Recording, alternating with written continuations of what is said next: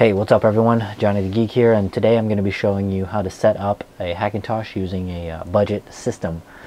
So let's take a look at our hardware that we got going on here. So essentially, what we got is an EP43 UD3L motherboard and uh, 8400 GT graphics card. It's a budget graphics card. It's like 30 bucks. Uh, you can find it online like that. Uh, E6500 CPU. It's a dual core CPU, 2.93 gigahertz, and 4 gigs of uh, Corsair XMS memory. There is a 500 gig hard drive here and uh, 500 watt power supply. This is a Cooler Master Cilio case. It's Cilio case or whatever. It's a silent case. It's got extra padding for silence and um, a standard uh, DVD burner, a SATA DVD burner. And uh, that's pretty much it for the hardware. Uh, one of the caveats before setting this up is that you need to have uh, 4 gigs of RAM. So um, if you have 8 gigs, take out 4.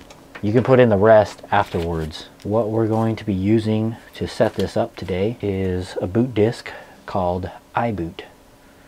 Right? So uh, you can download iBoot from the Tony Mac x86 project. And uh, it's an ISO file and you can burn it to a disk, a CD.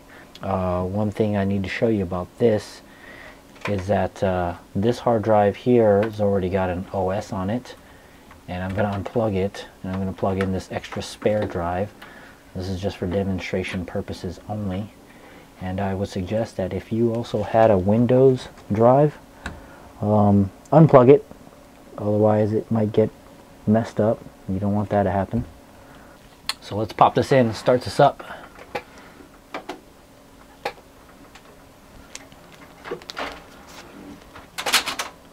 First thing we got to do is change some settings in the BIOS.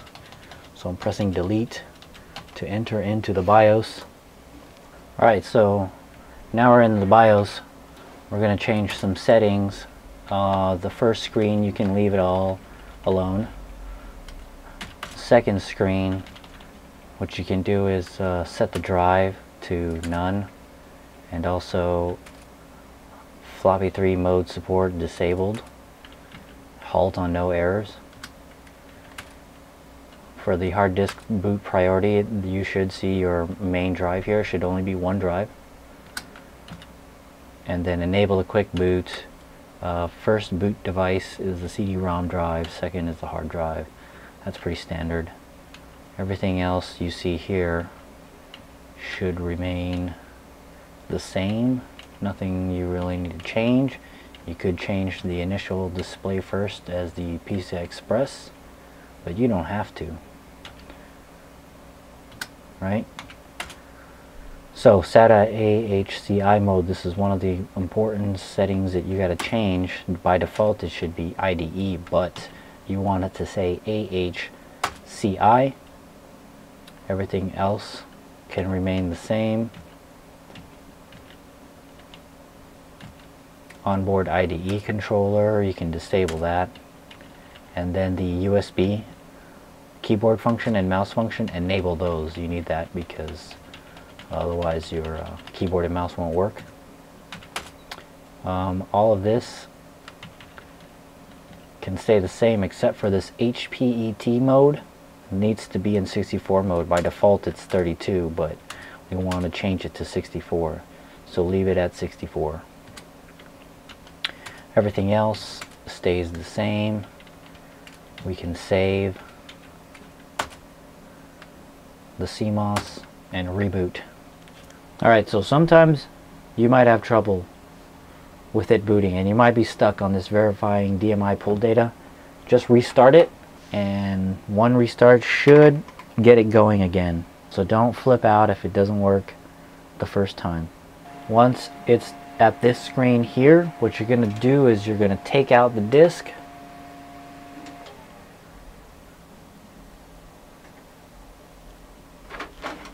And now you're going to put in your Snow Leopard disk.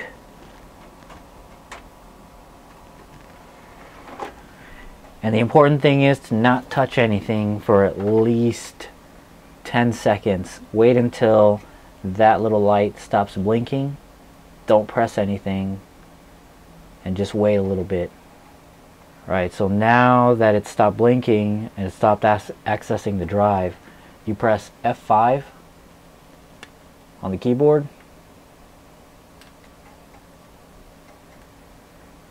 And then now you'll see the OSX disk is picked up and you press enter to select it. Those other icons that you saw, they were just there because the existing hard drive that's plugged in right now has a Windows partition on it. I'm going to wipe it out um, because I'm not going to use it for anything other than Mac OS X. Okay, now we're at the installation screen. You can choose English as your language. And the first thing we have to do is we have to partition the hard drive that's in there right now and wipe it all out.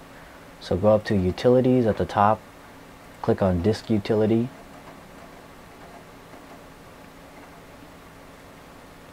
Once this starts up, this is my main drive that's plugged in here at the top.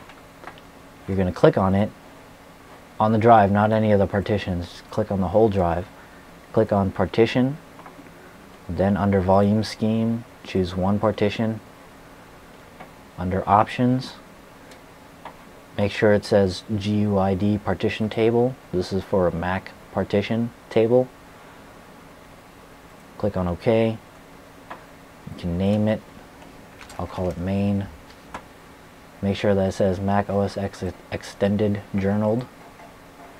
Then click on apply. Uh, before you do this, make sure that this is a hard drive that you don't want anymore or you don't have any information on it. That's kind of goes without saying, I think.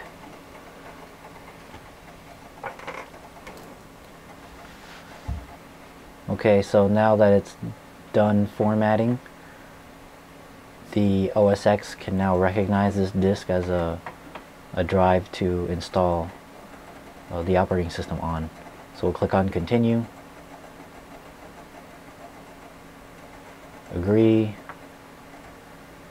Choose the uh, hard drive that you just formatted now. And this is just something that I personally do. You don't have to do this, but I uncheck the printer support, additional fonts, language translations, and I'll leave X11 and Rosetta on there for legacy support. And click on OK. Then install. Now it's going through the installation process. We'll come back uh, on the reboot. Um, one important thing is that it's automatically going to reboot. And when it does the installation disk is still in there and we have to take out the installation disk and put in the iBoot disk uh, during the reboot so uh, when we come back to that, I'll show you what I mean. Alright, so during the installation process, uh, the computer is going to reboot on its own. If the computer screen goes blank for a while, don't be afraid. It's uh, just doing some things in the background with the screen off.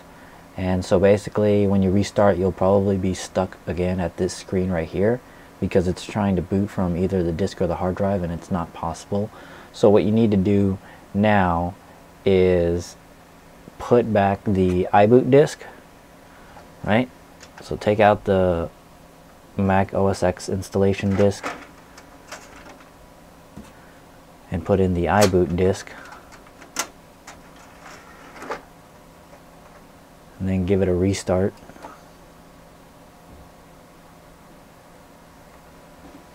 Now it's going to boot from the iBoot disk and what it's doing is that it's going to load the drivers uh, for the Mac OS X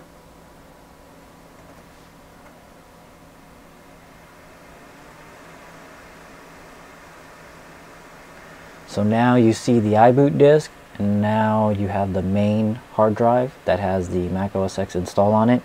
This is the drive that you just installed and set up and formatted and everything.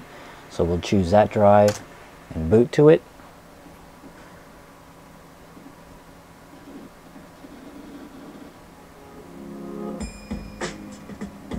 Okay, so the first thing I need to do is, so I'll do a search for the 10.6.5 combo update. And what that means is that we're going to jump straight from 10.6.0 to 5 and you have to download and install this first. So now I'm going to run the update that I've just downloaded. So click on continue and agree and continue. Authenticate. And now it's important that you download the update and not do the standard software update because that software update doesn't really update it. It reboots the machine and then updates. But you want this to uh, install everything it needs to install uh, before we apply the multi-beast. Um, but in the meantime, what you can do is go ahead and do a search for the multi-beast program. Right, so I just typed in multi-beast and the first thing comes up. Um, actually, it's this right here, the multi-beast 2.0.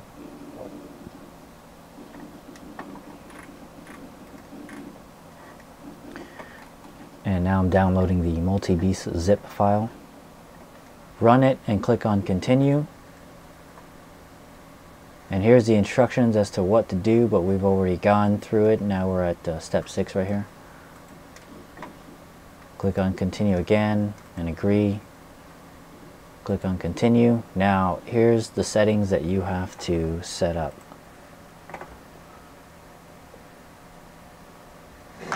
The first thing you got to do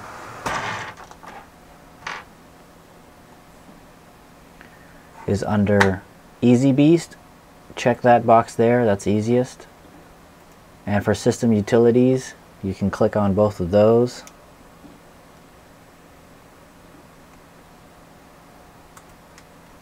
Right? And under advanced options, here's where you're going to install all of the drivers that you need for your particular system. And uh, if you have different motherboard or different hardware equipment, then you'll just have to find the right settings for your particular systems. But here's everything that the disk has to offer.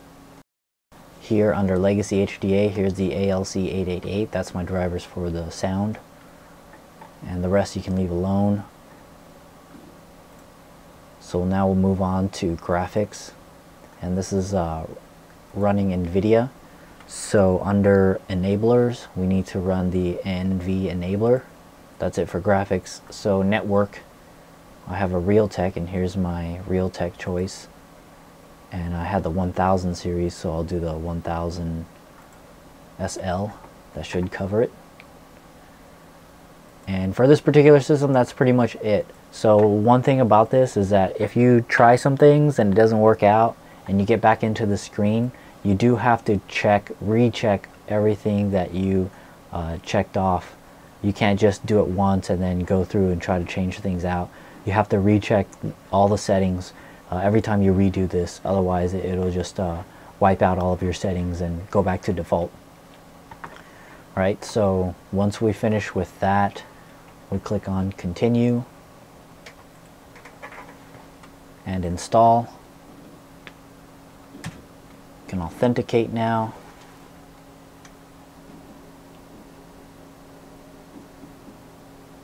Alright, and now we have ourselves a freshly built Hackintosh. The right resolutions.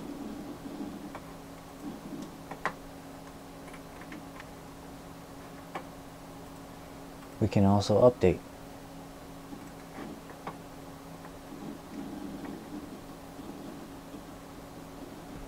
Alright, so that concludes this video. Thanks for watching. Peace!